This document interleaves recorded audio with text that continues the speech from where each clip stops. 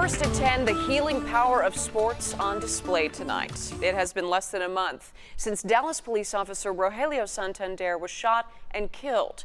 Tonight, his brothers in blue used hockey to show how much his family is loved and how much he is missed.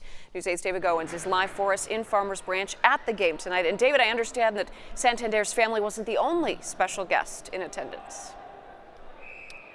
Absolutely, definitely a special guest there, Marie. Uh, this hockey game is still very much going on here in Farmers Branch. They got a little bit of a timeout, but uh, this has been a, a, very interesting evening of not only uh, intensity for watching a game, but also a lot of you know reverence for the families that were here today. certainly, fans uh, watching the action on the ice, but it's who they are playing for that has captured so much of the attention here tonight.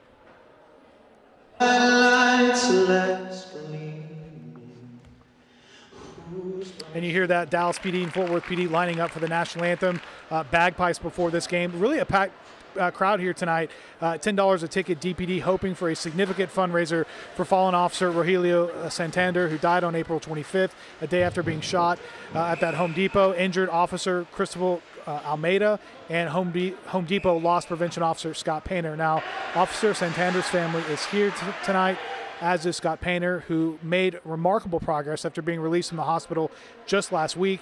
Uh, DPD plays a hockey game, a charity hockey game against Dallas Fire during the summer.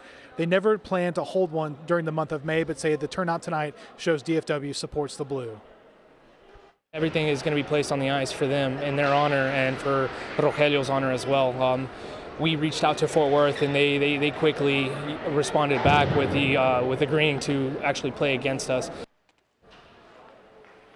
And another powerful moment this evening, uh, the ceremonial puck drop. Scott Painter, that loss prevention officer at Home Depot, uh, made his way to center ice. He was followed by uh, fallen officer Rogelio Santander's brother. So uh, just a really powerful uh, moment uh, tonight as we saw this entire event play out. Now, Dallas PD says that they uh, will have an idea of how much they raise from tonight's benefit because all the proceeds going to those families.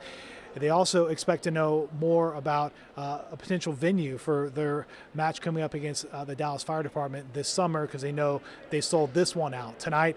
And also, just to let you know, DPD is beating Fort Worth PD in tonight's hockey game, six to two.